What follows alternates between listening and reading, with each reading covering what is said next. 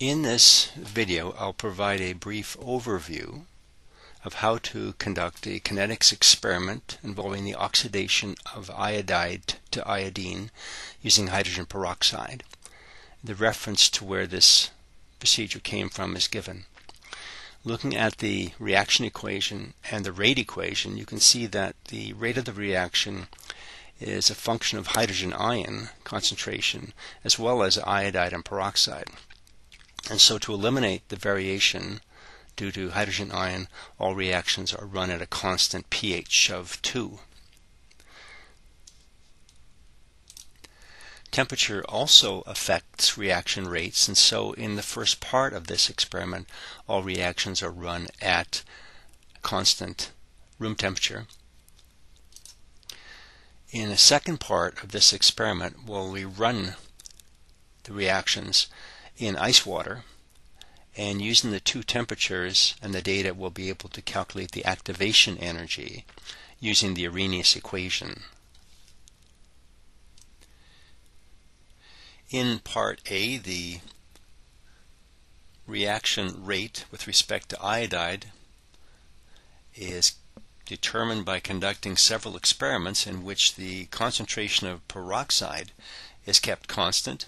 This is the graph on the left and iodide concentration is increased.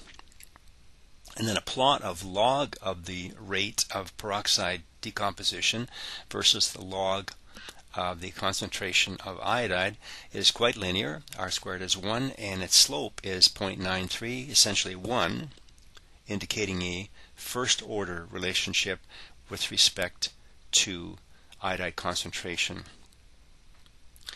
Then, in several more experiments, the concentration of iodide was kept constant and concentration of peroxide was varied.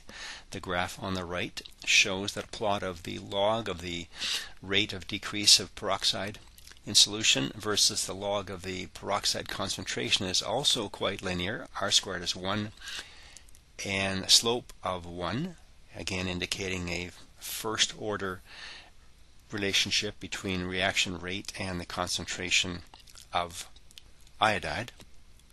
And so the reaction then appears to be second order overall. Here's the setup.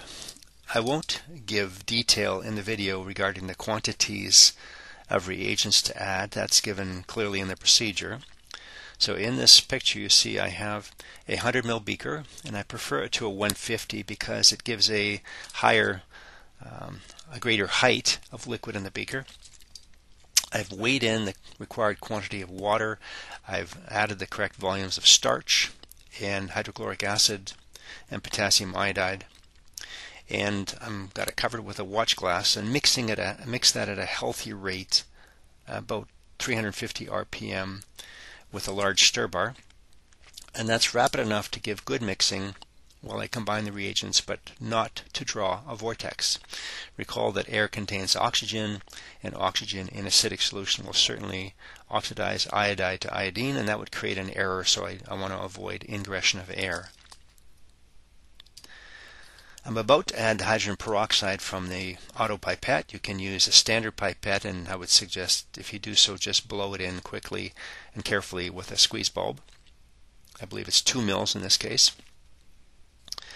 After the addition of peroxide, I immediately start the timer and then watch and wait for the time of appearance of the blue starch iodine complex. As is obvious in this photograph, I'm running these reactions at room temperature. Let's take a look at the video of the reaction. So here's the reaction I've added all my reagents except hydrogen peroxide, just removed the watch glass.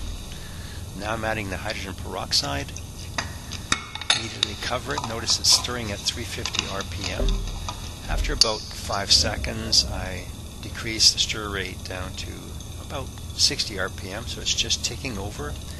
No oxygen invited into the solution.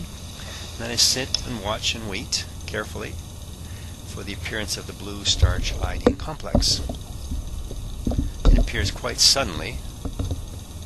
There it is, 24 seconds. So You want to be watching carefully or you'll miss it. That's pretty much it.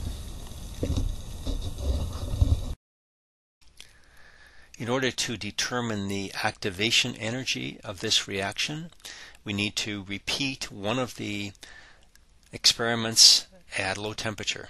So I have all of the reagents, including the water, uh, in an ice bath. And notice I have a thermometer to record the temperature. We need the temperature and ensure that it's suggested below 10 degrees Celsius.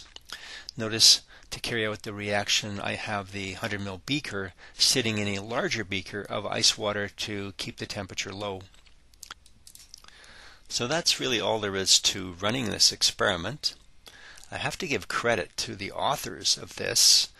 I think it's absolutely brilliant how they use thiosulfate to keep the concentration of iodide constant during the reaction and generate such sharp and reproducible endpoints. So all the other information you need to run this experiment is given in the procedure, so read it carefully and give it your best. Cheers.